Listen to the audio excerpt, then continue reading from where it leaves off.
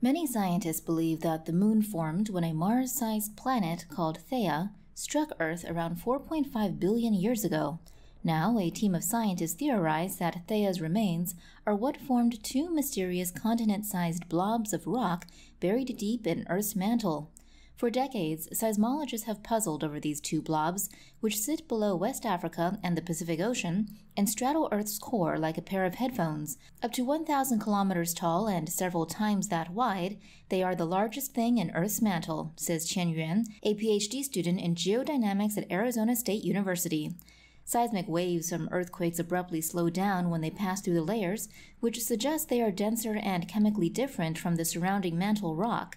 These blobs might simply have crystallized out of the depths of Earth's primordial magma ocean. But based on new isotopic evidence and modeling, Yuan believes the blobs are the guts of the theoretical alien impactor planet. The study is currently under review.